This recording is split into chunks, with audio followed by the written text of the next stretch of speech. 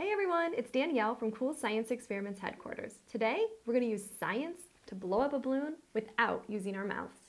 Are you ready? Let's get started.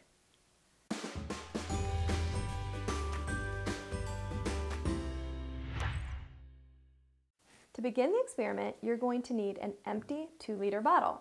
You're going to take a balloon and you're going to secure it to the mouth of the bottle.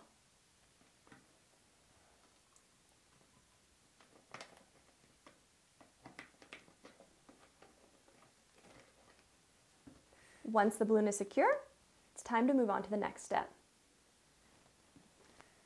For the next step of the experiment, you're going to prepare two pans of water.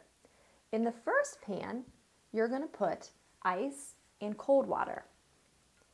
And in the second pan, you are going to put hot boiling water. Because it's hot, you're going to need to use caution with that step. Now, we're going to take our two liter bottle with the balloon and we're going to place it into the pan with the hot water and watch what happens.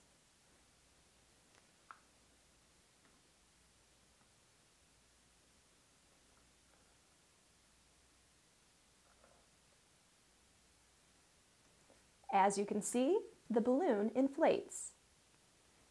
Now let's take the two liter bottle out of the hot water and place it on the table. Now you can see that the balloon stays inflated. Let's put it into the pan with the ice water now.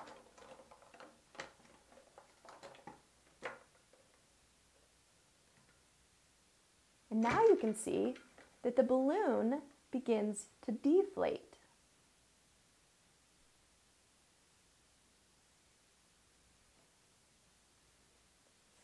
Now let's take the two liter bottle out of the cold water and place it back on the table.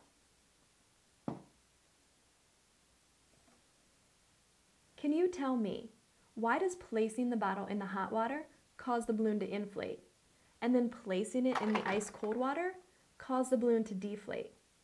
Leave a comment below to submit your guess and then visit coolscienceexperimentsheadquarters.com to find out the answer. You'll be able to print out instructions for this experiment and you'll find many more that you can do at home too.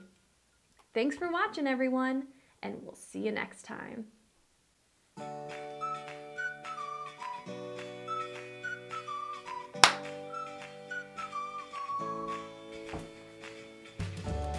I hope you enjoyed the experiment. Click the button to subscribe. See you next time.